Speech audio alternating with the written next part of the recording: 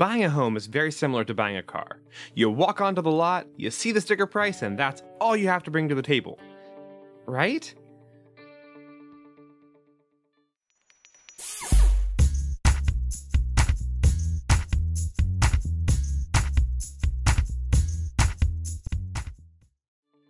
Like buying a car, buying a home has more than just the selling price to take into consideration. When you buy a car, you know you'll have to put more money into oil changes, gas, maintenance, not to mention insurance, taxes, tag, and title. We're going to talk about a lot of concepts in this video that we've covered in other videos, such as home inspections and appraisals.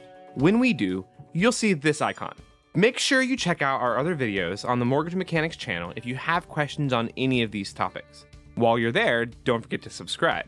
First, pre approval and securing a lender.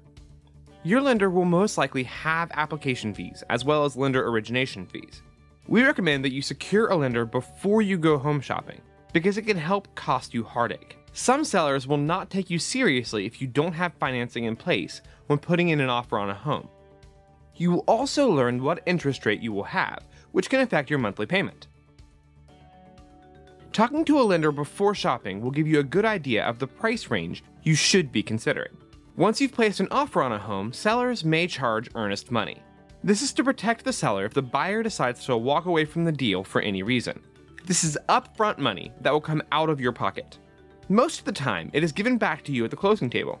It can go toward closing costs or back into your pocket. Once your offer has been accepted, you will need to have an appraisal done. Appraisals are needed to secure a loan. This is normally an upfront fee and can vary by state. Sometimes the fee can be worked into your closing costs. Around the same time you have your appraisal done, you may choose to have a home inspection done. It's not required by your lender, but if you're serious about a home, it is recommended. This is a choice, and the money does come out of your pocket, so it's something you'll want to budget for. But a good, thorough home inspection could save you a lot of money down the road if they discover something that may need corrected before you buy the home. Depending on the type of loan you're getting, you may need pest, septic, or foundation inspections. And in some cases, a formal survey of the property. Sometimes the seller pays for these inspections.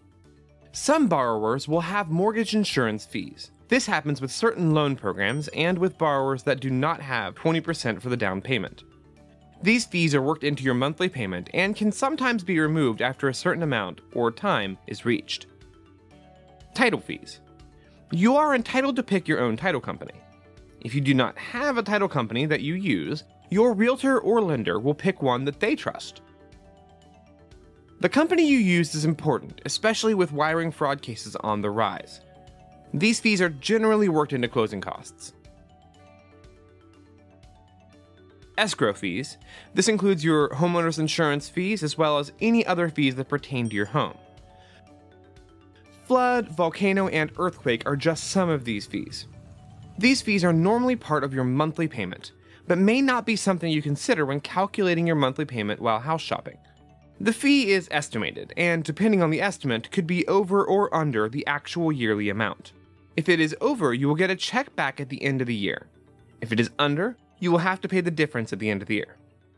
And finally, closing costs. These can vary as well. Sometimes borrowers pay closing costs, and sometimes the sellers pay the closing costs, and sometimes they're split. Whoever pays, they are normally around 2 to 5% of the home value and can include some of the other costs we've already listed. They can include loan origination fees, title insurance, survey fees, appraisal, credit report charges, deed recording fees, taxes, and title search fees. Your lender is required to give you an estimate of these fees within three business days of your application being submitted, so you have a good idea of the fees to come. Those are some fees to budget for when buying a new home. There is one more we forgot to mention your movers. This is an out of pocket fee, whether you're hiring movers, renting a truck, or paying your friends in pizza make sure you're ready. Buying a home is an exciting process that can be confusing at times. When navigating the fees, don't hesitate to contact your mortgage specialist or your realtor for explanations. If you're a first time homebuyer, you should sit down with your mortgage specialist and have them explain, in greater detail than our quick video, the fees associated with buying your dream home. If you have any questions, you can leave them in the comments below or email us at info at callequity.com. Please like and subscribe, and as always, thanks for watching.